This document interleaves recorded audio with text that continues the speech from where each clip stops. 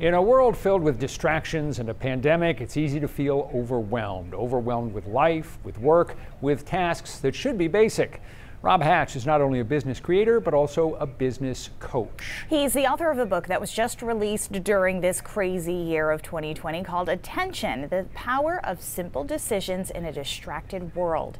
It's filled with tips to turn off some of the daily noise and reset your own pace, beginning with something simple turning off the notifications on your phone. As though we're a surgeon on call or an ER doc on call, and and we we don't need those interruptions in our lives. So the first step is really deciding what we want to let through, and when and where and for whom we want to give our attention.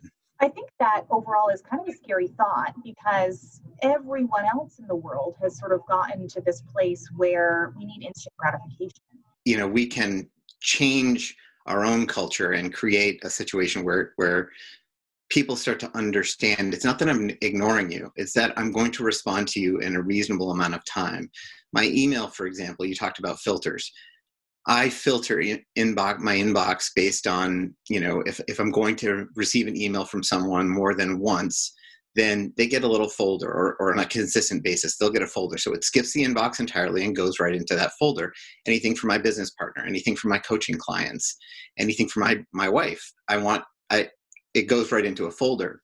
When I go into my inbox, then I'm not scanning my inbox, making all sorts of little tiny decisions. Do I, do I not, do I, do I not, you know, open or respond or whatever. I go in and I go to the folders that I've determined are most important first. My wife, my business partner, my clients, those are the people that I want to make sure get through.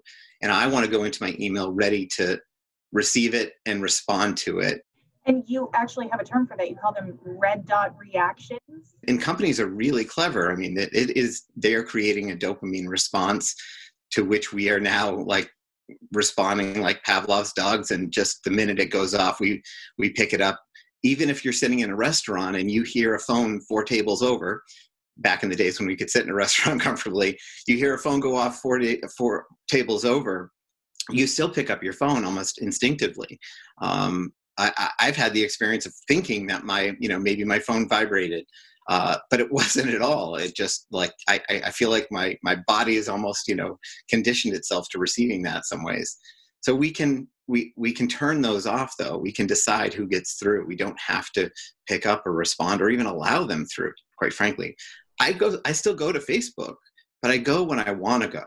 I go to Instagram when I want to go there, not because I'm compelled you know, we all fall off every now and then, but I want to go to these places, my inbox, social media, on my terms when I want to go for the reasons I want to go.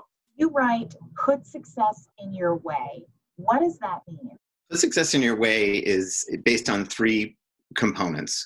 One is the idea that our willpower is limited. We are not given an, an exhaustive supply, and throughout the day, it, it wears on us. The second is that decisions are distractions, that for every single decision we make, our ability to make subsequent decisions is degraded. So, for example, if I'm sitting around figuring out what do I wear today, uh, what am I going to eat this morning, that's decision making energy that I'm wasting. Uh, whereas if I know what